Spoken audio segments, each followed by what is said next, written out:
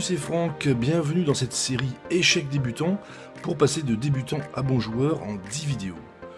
Aujourd'hui, on attaque la cinquième vidéo pour apprendre la notation des parties d'échecs.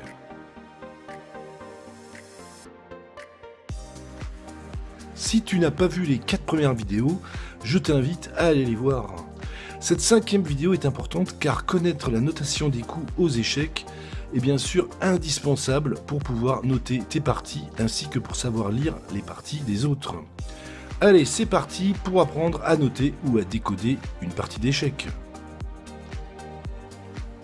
La notation algébrique est le système de notation des coups joués lors d'une partie d'échecs. Ce système est officiellement utilisé par la FIDE, Fédération internationale des échecs. Ce système a été inventé par le joueur Philippe Stama en 1737.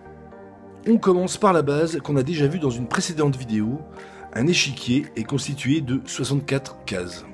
On divise ces 64 cases en 8 colonnes verticales et 8 rangées horizontales.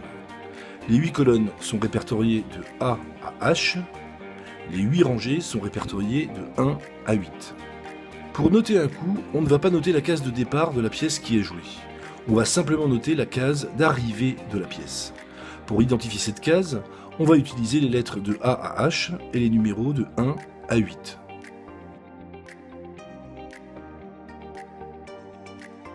Grâce aux lettres des colonnes et des numéros des rangées, on va donc pouvoir identifier chaque case de l'échiquier. C'est simple, c'est comme pour la bataille navale. Regarde l'échiquier sur lequel je t'ai mis l'identification de chaque case avec une lettre et un numéro.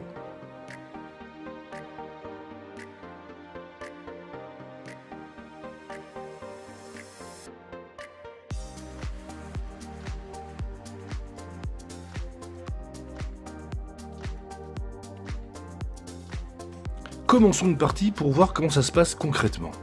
Pour le premier coup de cette partie, on va donc noter ce coup de pion ainsi. E4. En effet, quand on note le coup d'un pion, on ne note que la case d'arrivée, sans préciser la pièce qui a été déplacée.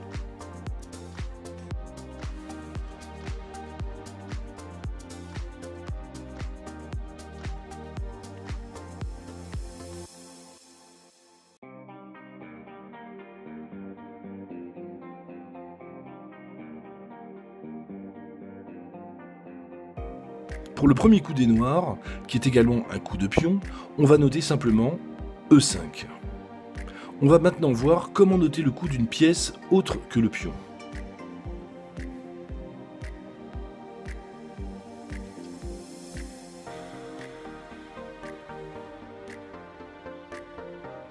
Pour le deuxième coup des blancs, c'est le cavalier qui va se déplacer sur la case F3. Pour noter le coup d'un cavalier, on marque l'initiale C avant de noter la case d'arrivée. Ce deuxième coup des blancs se note donc C F3. Le deuxième coup des noirs déplace le cavalier sur la case C6. Donc si tu as bien suivi l'explication, saurais-tu noter ce coup des noirs? Si tu as répondu C C6, alors bravo Pour le troisième coup, les blancs déplacent maintenant le fou sur la case C4.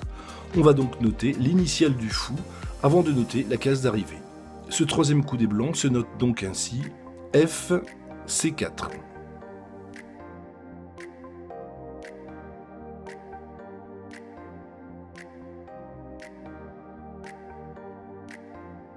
Pour le troisième coup des noirs, le cavalier se déplace sur la case F6. On va donc noter ce troisième coup noir ainsi C F6.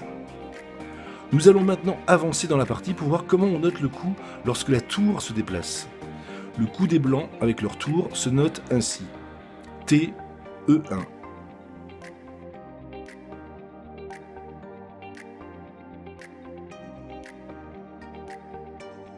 Si la dame se déplace, on note l'initiale D avant de noter sa case d'arrivée. Ici, on notera donc D, E7. Pour le déplacement du roi, on note R avant de noter sa case d'arrivée, comme ceci. R, G4.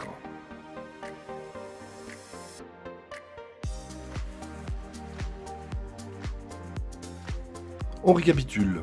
Pour noter le déplacement d'une pièce, on note son initiale avant sa case d'arrivée. Voici les initiales des pièces. Le roi R, dame D, tour T, cavalier C, fou F. Pour les pions, on ne note pas d'initiale, on note juste la case d'arrivée. Passons maintenant à la notation d'un coup lorsqu'une pièce prend une autre pièce. On notera l'initiale de la pièce suivie du signe X suivi de la case d'arrivée, la case où se fait prendre la pièce. Lorsque c'est un pion qui prend, on n'indique pas d'initiale, mais simplement la lettre, en minuscule, de la colonne où se situe le pion qui prend. Exemple ici pour la tour qui prend le pion, on notera T fois E4.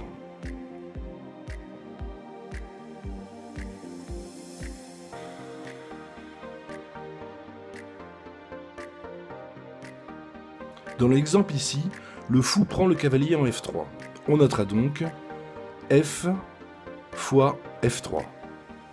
Puis, pour la dame qui prend le fou en F3, on notera D fois F3.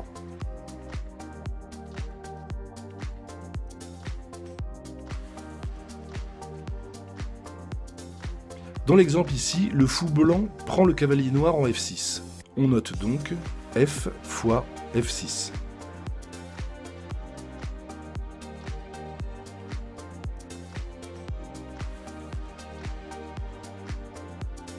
Puis le pion noir reprend le fou blanc en F6. On note alors G minuscule fois F6. Pour noter un échec au roi, voici comment faire.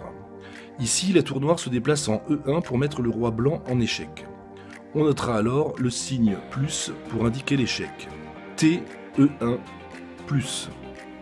Pour indiquer que le roi adverse est échec et mat, on utilise le signe dièse à la suite du coup. Ici, la tour noire prend la tour blanche en E1, mettant le roi blanc en échec et mat. On note alors ce dernier coup de la partie comme ceci. T fois E1 dièse. Parfois, un coup peut avoir une notation ambiguë. Par exemple, dans la position ici, si on note simplement TE8, on ne sait pas laquelle des deux tours noires se déplace.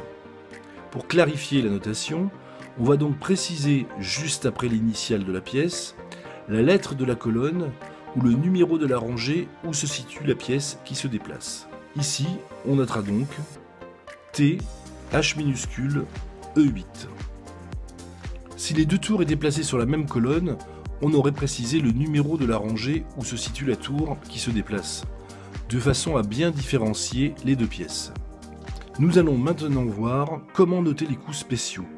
Si tu ne les connais pas encore, je t'invite à aller voir la vidéo sur les coups spéciaux de cette série. Commençons avec le petit roc. Il se note de cette façon 0-0. Pour le grand roc, c'est presque pareil. On le note ainsi 0-0-0. Quand on fait une prise en passant, on note E minuscule P minuscule point à la suite du coup, comme ceci. D minuscule fois C3 E minuscule point P minuscule. E et P signifiant en passant. Le coup d'un pion parvenant à faire une promotion se note avec le coup de son déplacement ou de sa prise, suivi de l'initiale de la pièce qui va le remplacer. En général, la dame. Comme ceci. A1, D. Lorsqu'une partie se termine par une égalité, on indique le pat à la suite du coup par le signe égal. RG4 égal.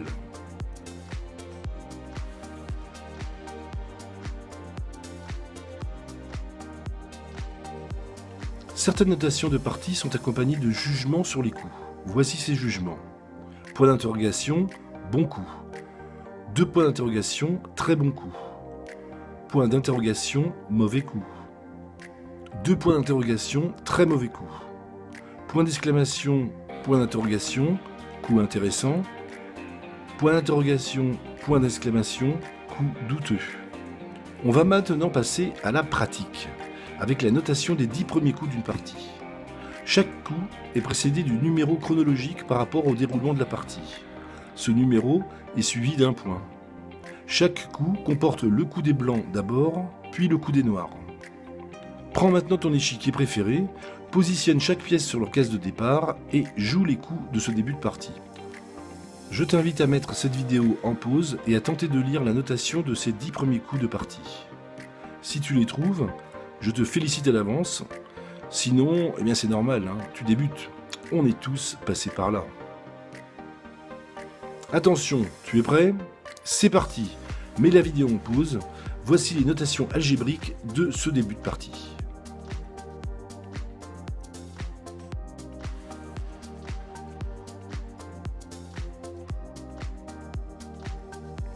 Maintenant, voici la bonne lecture de la notation de ce début de partie. Pion en E4. Pion en D6.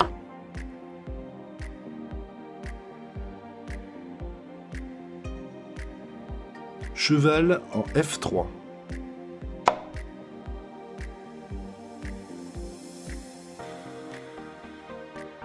Pion en A6.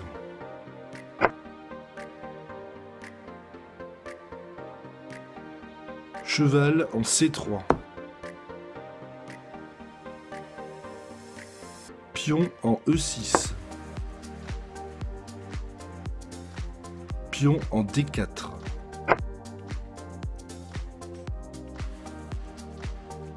Pion en H6. Fou en C4.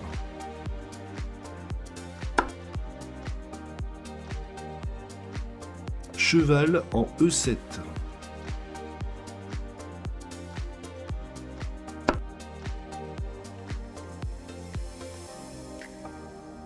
Petit roc.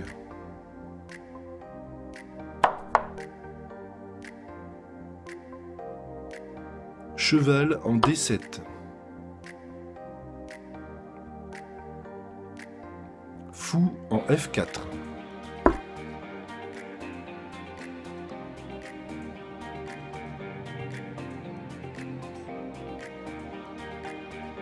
En G6.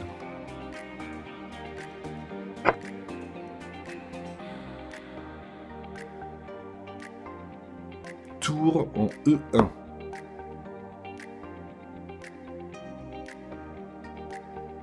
Fou en G7.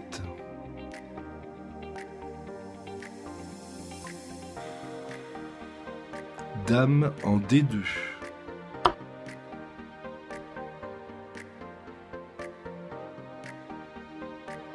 Pion en B6.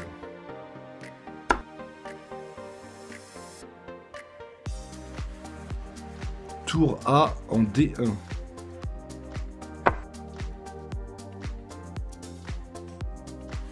Et fou en B7.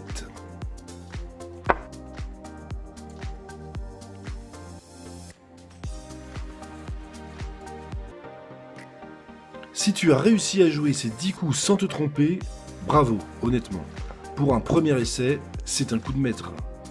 Continue à t'entraîner à lire euh, des notations, tu trouveras de nombreuses parties sur internet que tu pourras jouer. Entraîne-toi également à noter tes propres parties. Ainsi tu pourras les rejouer quand tu le voudras et les garder toute ta vie. Tu constateras ainsi tes progrès. En ce qui concerne la position de la partie que tu viens de jouer, après ces 10 coups, la position des noirs est la position classique de la méthode Ruiz. Tu ne la connais pas encore? C'est une méthode très efficace, valable pour un joueur débutant ou de haut niveau, et permet de progresser rapidement aux échecs. C'est une méthode simple à comprendre et facile à jouer. Pour la tester, tu peux avoir accès à 3 jours de formation vidéo gratuite. Tu as juste à cliquer sous cette vidéo et tu recevras le programme complet sur ton email préféré. Je te dis à très bientôt pour la sixième vidéo de cette série. On parlera alors des ouvertures justement et de la meilleure façon de débuter une partie. Je te remercie pour ton écoute, j'espère que cette vidéo sur les notations algébriques t'a été utile. Mets un petit pouce en l'air si tu as aimé et n'hésite pas à t'abonner à la chaîne, tu es bien sûr le bienvenu. Salut, c'était Franck.